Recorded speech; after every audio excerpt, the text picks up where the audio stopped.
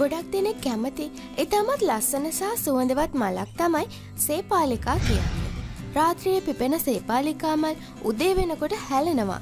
එසේ එකතු කරගන්න මේ මල් චර්මරෝග පනරෝග උන්න වාතරෝග උදරගත රෝග පිත්රෝග අර්ශස් ඇදුම ෂේරෝගය හිස්තොරයාදී රෝග රැසක් සඳහා ප්‍රතිකාර කිරීමට සේපාලිකාශාකයේ සියලුම කොටස් භාවිතයට එක් කර ගන්නවා. මේ දේවල් ගොඩක් අය දන්නවා වුණත් සේපාලිකාමල් ආහාරයට ගන්නවා කිව්වොත් ඔබ පුදුම වෙයි නේද?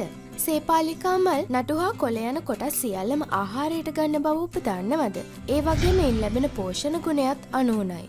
රාත්‍රියයට සේපාලිකා ගසයට පිරිසිදු රෙදි කඩක් එලාගෙන සේපාලිකාමල් එකතු කරගන්න පුළුවන්. ඉතින් මෙහෙම රැස් කරගන්න සේපාලිකා මල්වලින් බතක් උයාගන්න කොහොමද කියලා අපි අද ඔයාලට කියලා දෙන්නම්. සාමාන්‍ය විදියට බත් එක උයාගෙන නිවෙන්න තියන්න.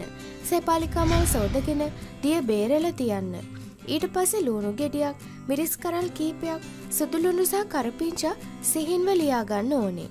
තෙල් මේ සැහැන්දක් හෝ දෙකක් ලිපේතියාගෙන රත්වෙනකොට ලියාගත් සුදුලූුණු කරපිංචා ඒකට දාලා රත්වෙනකොට ලූුණු සහ මිරිස් ඊට එක් කරගන්න ඕනේ. ඉන් පස්සේ ලුණු සහ කාසොල්පේ බැගින් එක්කරගෙන විනාඩියක් පමණ හැඳිකාගෙන ඊට සේපාලිකාමල් එකතු කරලා රන්වන් පාට වනතුරු බැදගන්න.